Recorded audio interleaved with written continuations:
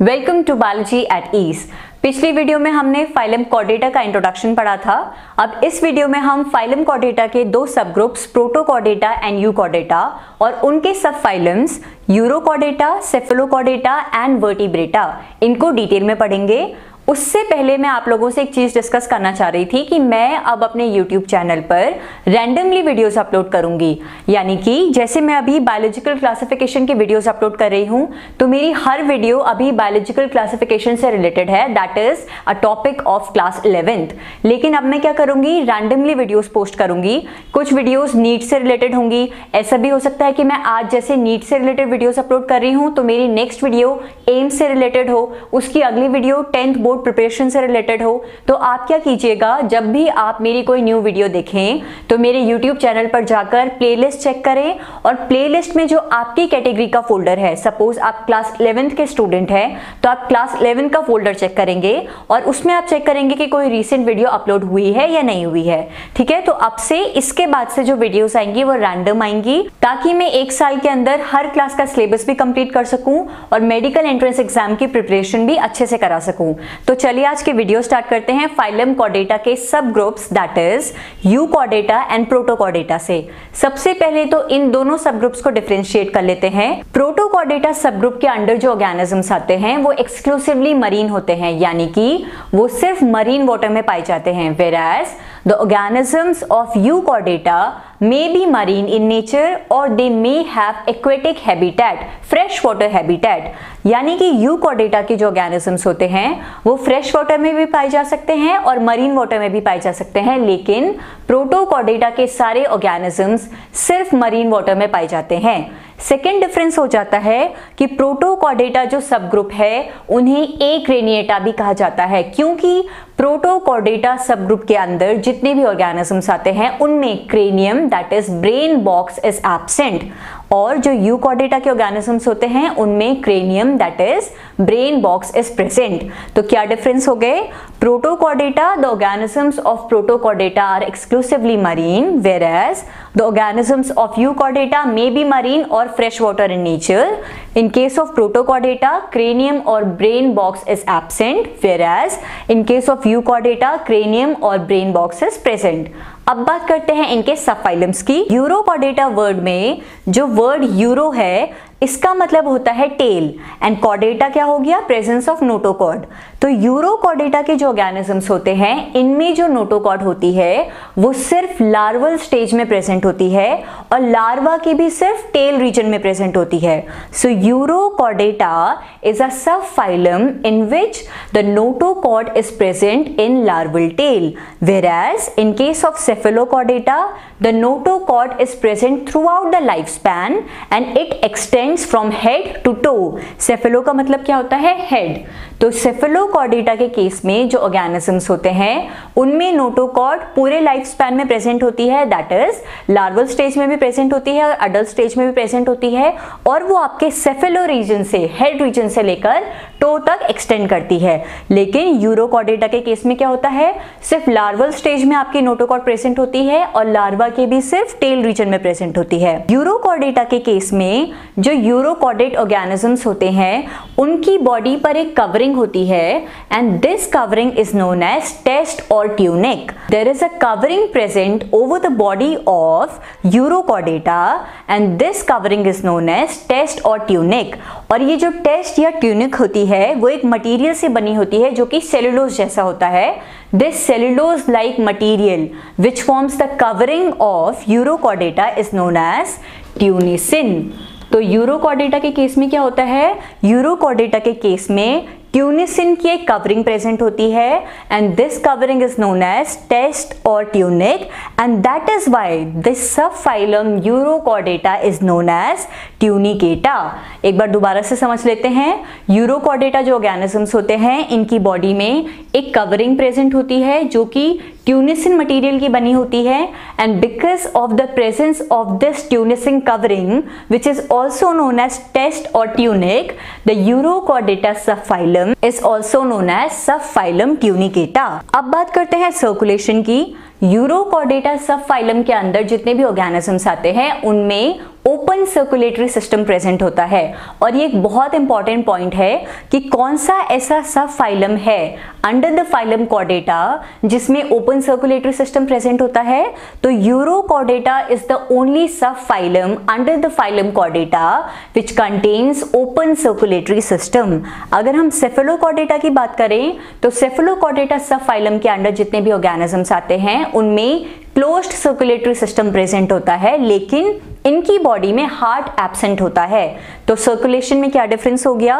Urochordata organisms have open circulatory system whereas the organisms under cephalochordata have closed circulatory system but heart is absent in case of cephalochordata respiration की बात करें तो urochordata में जो respiratory pigment होता है, वो होता है V2O5 which is known as vanadium pentoxide जैसे कि हम ह्यूमन बींग्स की बॉडी में रेस्पिरेटरी पिगमेंट क्या है? हीमोग्लोबिन, वैसे ही यूरोकॉर्डेटा के केस में रेस्पिरेटरी पिगमेंट होता है वेनेडियम पेंटोक्साइड और रेस्पिरेशन गिल्स के थ्रू होता है whereas in case of cephalochordata respiration takes place through body surface अब बात करते हैं एक्सक्रीशन की। यूरोकॉर्डेटा के केस में excretory units are known as neural gland या फिर पाइलोरिक ग्लैंड न्यूरल और पाइलोरिक ग्लैंड लेकिन सेफिलोकॉर्डेटा के केस में जो ऑर्गेनिजम्स होते हैं, उनमें एक्सक्रीशन कैसा होता है? उनमें एक्सक्रीशन होता है प्रोटोनेफ्रीडिया से अलोंग विथ सोलेनोसाइट या फिर फ्लेम सेल्स तो एक्सक्रीटरी यूनिट्स क्या हो गई? यूरोकॉर्डेटा जो ऑर्गेनिजम्स होते हैं, उनकी एक्सक्रीटरी यूनिट्स क्या होती है? न्यूरल ग्लैंड और पाइलोरिक ग्लैंड लेकिन सेफेलोकॉर्डेटा के जो ऑर्गेनिजम्स होते हैं, उनकी एक्सक्रीटरी यूनिट्स होती हैं प्रोटोनेफ्रीडिया विद फ्लेम सेल्स या फिर जिन्हें हम सोलेनोसाइट्स भी कहते हैं। रिप्रोडक्शन की बात करें तो यूरोकॉर्डेटा सेफेलोकॉर्डेटा दोनों में सेक्सुअल रिप्रोडक्शन होता है। ये यूनिसेक्सुअल होते हैं यूरोकॉडेटा के ऑर्गेनिजम्स यानी कि मेल और फीमेल रिप्रोडक्टिव ऑर्गन्स दो डिफरेंट ऑर्गेनिजम्स में प्रेजेंट होंगे। एक्सटर्नल फर्टिलाइजेशन होता है और इनडायरेक्ट डेवलपमेंट होता है। इनडायरेक्ट डेवलपमेंट मतलब उनकी रिप्रोडक्टिव साइकिल में लार्वल स्टेज इन्वॉल्व होती है। Larva formation takes place in case of life cycle of urochordata cephalochordata की बात करें तो सेफेलोकॉर्डेटा में भी सेक्सुअल रिप्रोडक्शन होता है और इनडायरेक्ट डेवलपमेंट होता है।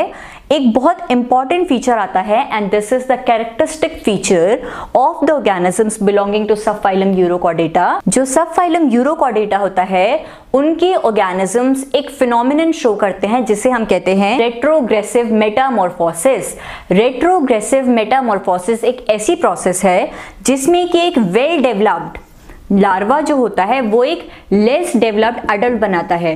नॉर्मली क्या होता है, लार्वा लेस डेवलप्ड होता है और जब वो अडल्ट बनता है तो अडल्ट मोर डेवलप्ड होता है। लेकिन रेट्रोग्रेसिव मेटामॉर्फोसिस के केस में लार्वा मोर डेवलप्ड होता है और जब वो अडल्ट स्टेज में पहुँचता है तो जो अडल्ट होता है, वो लेस डेवलप्ड होता है। तो retrogressive metamorphosis is present in case of organisms belonging to phylum urochordata ये इनका कैरेक्टरिस्टिक फीचर होता है अगर हम सेफेलोकॉर्डेटा की बात करें तो सेफेलोकॉर्डेटा के जो ऑर्गेनिजम्स होते हैं, उनमें पेयर्ड अपेंडेजेस एब्सेंट होते हैं। पेयर्ड अपेंडेजेस क्या हो गए? जैसे ह्यूमन बींग्स में पेयर्ड अपेंडेजेस क्या हो गए? हमारे लिम्स हमारे हाथ, हमारे लेग्स ये क्या है? पेयर्ड है। They are present two in number लेकिन सेफेलोकॉर्डेटा के केस में पेयर्ड अपेंडेजेस एब्सेंट होते हैं। इनमें फिन्स प्रेजेंट होते हैं और जो फिन्स होते हैं, वो भी पेयर्ड नहीं होते हैं। नॉर्मली फिशेस के फिन्स कैसे होते हैं?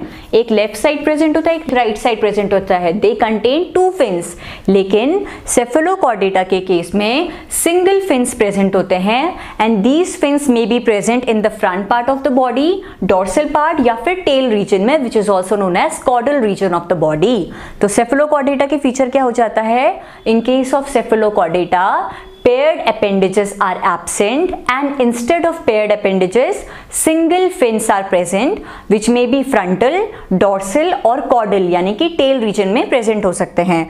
अगर हम examples की बात करें तो यूरोकॉर्डेटा का example हो जाता है एसिडिया, सेल्पा, डोलियोलम और हर्डमीनिया। सेफेलोकॉर्डेटा का एग्ज़ाम्पल हो जाता है ब्रेंक्योस्टोमा, जिसे एम्फ्यूसिक्स या फिर लैंसलेट भी कहते हैं।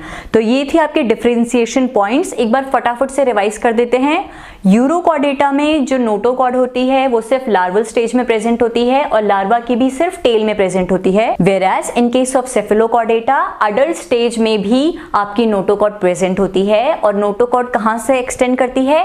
From the head region to the toe region अगर हम बॉडी की बात करें तो यूरोकॉडेटा की बॉडी एक कवरिंग से एनक्लोज होती है। This covering is known as test और ट्यूनिक जो कि cellulose like material which is known as tunicin इससे बनी हुई होती है।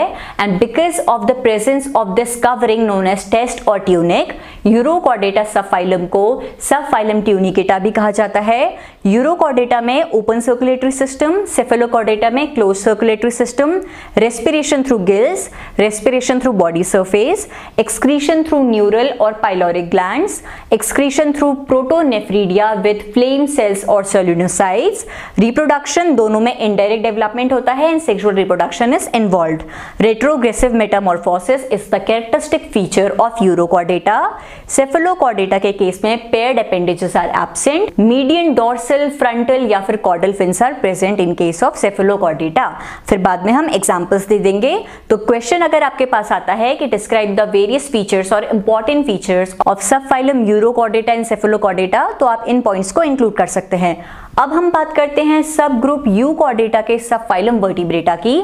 तो जो सब फाइलम वर्टिब्रेटा होता है सब फाइलम वर्टिब्रेटा के अंडर जितने भी ऑर्गेनिजम्स आते हैं, उनमें नोटोकॉड सिर्फ़ एम्ब्रियोनिक स्टेज में प्रेजेंट होती है और जैसे ही वो एम्ब्रियो अडल्ट स्टेज में डेवलप होता है तो this notochord which is actually made up of cartilage is replaced by a bony structure known as vertebral column sub phylum vertebrata के अंदर जितने भी ऑर्गेनिजम्स आते हैं, उनमें नोटोकॉड सिर्फ़ एम्ब्रियोनिक स्टेज में होती है और जब वो एम्ब्रियो अडल्ट लाइफ में डेवलप होता है तो कार्टिलेज की बनी हुई ये नोटोकॉड एक बोनी स्ट्रक्चर में मॉडिफाई हो जाती है और इस बोनी स्ट्रक्चर को हम वर्टिब्रल कॉलम कहते हैं और इस वर्टिब्रल कॉलम की प्रेजेंस की वजह से सब फाइलम वर्टिब्रेटा नाम दिया गया है। तो पहला फीचर क्या हो गया? वर्टिब्रेटा के केस में vertebral column which is a bony structure is present in adult life whereas in embryonic stage cartilaginous structure called notochord is present. अगर हम circulation की बात करें तो इनमें closed circulatory system होता है रेस्पिरेशन लंग्स गिल्स बहुत सारे रेस्पिरेटरी ऑर्गन्स होते हैं which helps in respiration excretion की बात करें तो एक्सक्रीटरी यूनिट्स किडनी होती है. कैरेक्टरिस्टिक फीचर हमने क्या बता दिया? कि presence of vertebral column is the characteristic feature of organisms belonging to phylum vertebrata तो फाइलम वर्टिब्रेटा के क्या कैरेक्टरिस्टिक्स हो गए? Presence of notochord in embryonic stage whereas vertebral column in adult stage respiration takes place through various respiratory units like lungs and gills excretory units are known as kidneys और एक और feature हो जाता है, जो vertebrata organisms होते हैं, उनमें क्लोज्ड सर्कुलेटरी सिस्टम होता है और हार्ट भी प्रेजेंट होता है।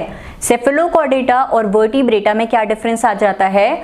दोनों में क्लोज सर्कुलेटरी सिस्टम प्रेजेंट है, लेकिन सेफेलोकॉर्डेटा के ऑर्गेनिजम्स में हार्ट एब्सेंट है। लेकिन in case of vertebrata heart is present which may be two three और फोर चैम्बर्ड तो एक ये डिफरेंस आ जाता है इन दोनों सब फाइलम में। एक्सक्रीशन का आप डिफरेंस दे सकते हैं।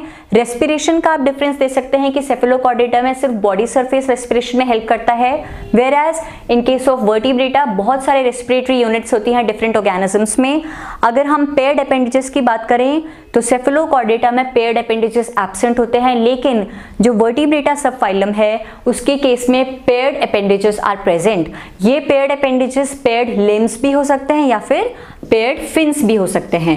तो ये थे basic characteristics and the differentiation points between Urochordata Cephalochordata और वर्टिब्रेटा नेक्स्ट वीडियो में हम वर्टिब्रेटा सब फाइलम को डिटेल में पढ़ेंगे और उसके बाद जो कमिंग वीडियोस होंगी, वो मैं रैंडमली पोस्ट करूँगी ताकि मैं नीट का सिलेबस भी कंप्लीट कर सकूँ। और मुझे काफ़ी स्टूडेंट्स ने ये रिक्वेस्ट किया था कि मैं निमोनिक्स बनाऊँ शॉर्ट ट्रिक्स बनाऊँ, ताकि आप जल्दी से जल्दी टॉपिक्स लर्न कर सके। तो मैं उन पे भी वीडियोस बनाऊँगी short tricks to learn the processes mnemonics, ताकि आप स्टेप्स लर्न कर सके। So stay tune for my upcoming videos I hope you are clear with the content if you like this video, do hit the like button and subscribe to biology ATs for the upcoming videos. Thank you so much for watching the video.